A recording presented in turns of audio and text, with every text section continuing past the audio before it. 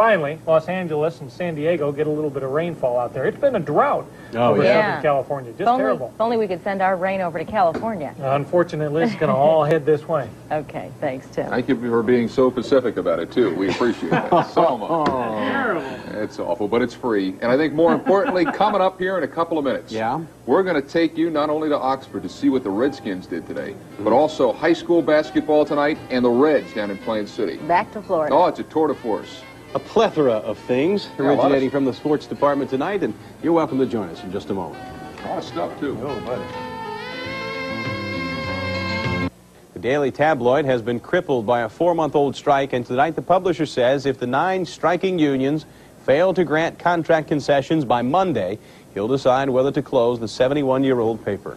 I was just in New York uh, a little while ago and got to see some of the, the pickets out there, and the newsstands aren't even carrying it. It's a real ugly situation in New York. It's A York. shame to lose it, too, isn't it? Yeah, you know, It's it's, it's a big paper. Sure it is. It's a shame what happened in Oxford tonight, too. yeah, they didn't do so well, I did mean, they? This is, you know, this is like this is very traumatic because the Miami could have had its own Yeah. destiny in its own hands here, but it's over. Um, The Miami's got no shot of finishing first in the MAC. For the, for openers, Eastern beat Kent tonight. Wait a minute, it gets worse. The Skins got skunked tonight by hmm. Central. Come on, let's go up to Millett Hall and take a look at Matt Kramer nailing a three-pointer. He had 25 tonight. Miami down by 14 at the half, but they come rambling back. Kramer with the jumper.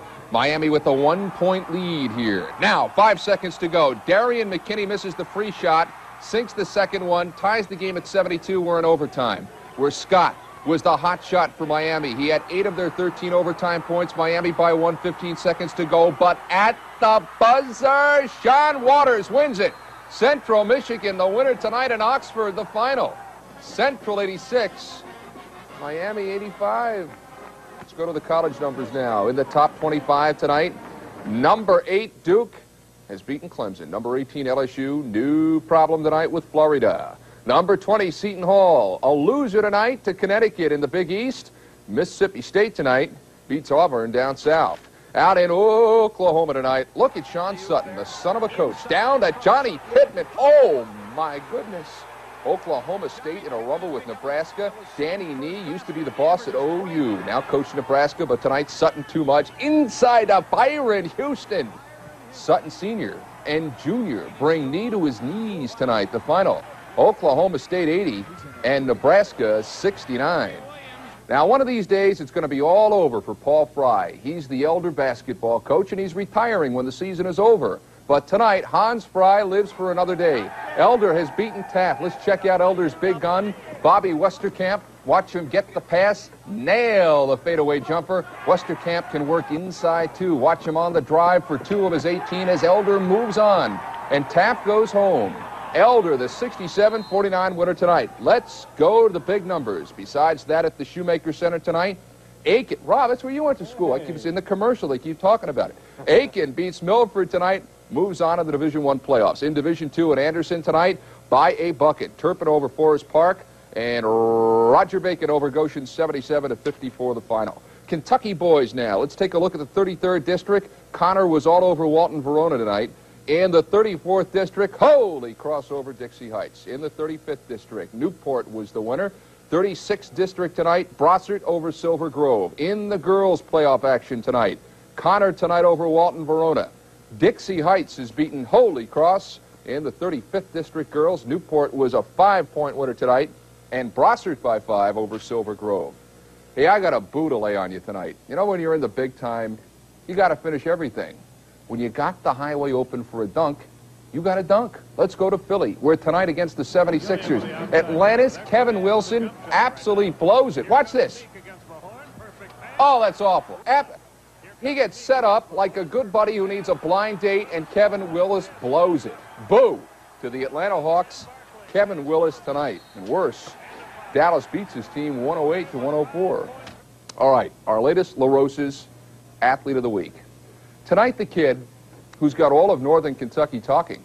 And the best part about him, he's just a pup. At 6 feet 1 and 150 pounds, St. Henry's Robbie Paget doesn't look like much of a player. But when you look at the scorebook, well, you better have the oxygen close by. He's not going to scare anybody to death by appearance. You know, it's, it's like I like to say, whenever you look uh, in the scorebook and see what he did, then, then you, you really realize what a force he is out there. He is a force out there. Check the numbers. 26 and a half points per game, tops in the region. 78% from the line, 54% from two-point range, and 49% from three. But this kid is modest about it.